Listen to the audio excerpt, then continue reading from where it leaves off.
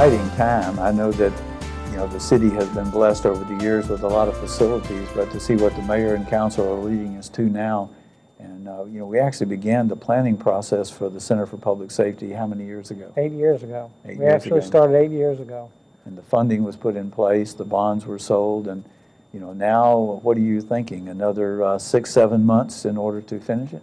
We are, we're, we're looking at sometime in May and June actually moving in because we're actually working on some of the infrastructure, the, the communication center, some of those things we're looking at right now, planning for because we want to be ready when we move in to have everything operational sometime in June of next year.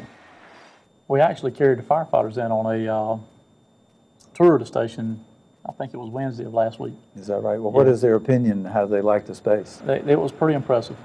Now, Spencer, the, uh, will the ladder truck now be housed uh, downtown, or will it stay out at Station Three?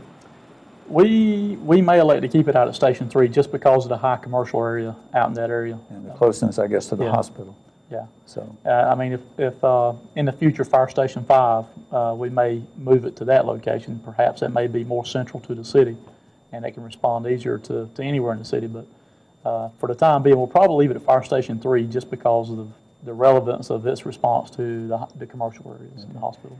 Well, you know, when you come over the bridge and the beautiful uh, arch that they put on the Phillips Bridge now is going to give a bird's eye view not only to the estuarine system of the river, but also a great view of the new center. Yes. Uh, I know the center is going to be open uh, 24 hours a day, seven days a week. That's correct. Yeah, we- we'll be, oper- operationally, we'll be working all the police and all fire out of there in our communication center.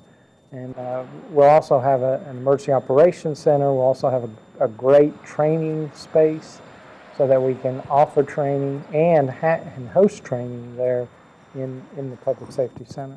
Now, the, uh, I believe we call it the Intelligent Transportation System. Yes. That's almost like saying uh, military intelligence. Uh, Sometimes people wonder, is that a true statement? But when it comes to, to transportation intelligence systems, uh, how is that going to be uh, incorporated in the new building? Well, we're excited about that because that's going to be right next to our communication center. So if we have a particular crash, for example, that shuts down a particular part of the city, we'll be able to reroute traffic using, using the signal system to, to, to uh, lessen the load on those particular areas.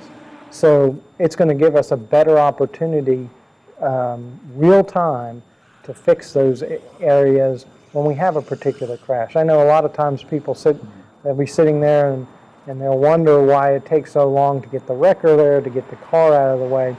And part of it is because of the, the light system and how the light system works. It works on a timing system. Well, we'll be able to override that timing system in order to move people in, in particular areas to try to alleviate those traffic bottlenecks for whatever the reason would be. Whether it's a flood, whether it's a tree down, whether it's a car crash, whatever that might be, will allow us to move traffic throughout the city much more effectively than we are now. So, for example, if the base decides that they're going to, uh, to allow their personnel to leave earlier for a long weekend, you're saying that we could actually adjust the traffic signals to accommodate that? Yeah, and, and we do that now, but it's, it's based upon uh, a 3:30 to 5:30 window.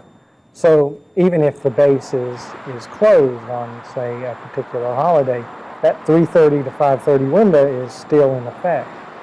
Well, now, what we'll be able to do is we'll be able to, to reconfigure those lights from the Intelligent Traffic Center to, to put them on normally, or if they're coming off the base, if they get off at noon, we'll be able to control the lights to allow the traffic to, to flow a lot easier, to get, to move the traffic much more effectively than we are now. And so the center, you're projecting it's going to be operational by when? By sometime in June, May and June of this uh, upcoming year.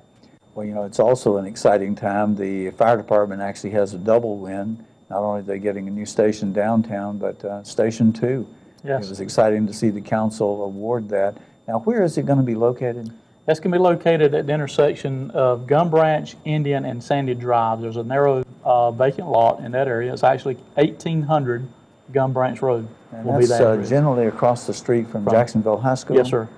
Di- Directly across the street from Jacksonville High School.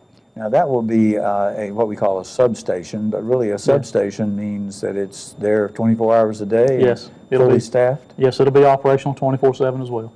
Now, the territory that it will primarily serve, It'll, it'll serve every, everywhere from uh, the intersection of Gum Branch and um, Western Boulevard, all the way down to the lower ends of Northwoods, Northwoods community. and then all the way back up through Williamsburg Plantation that Yes, way? yeah.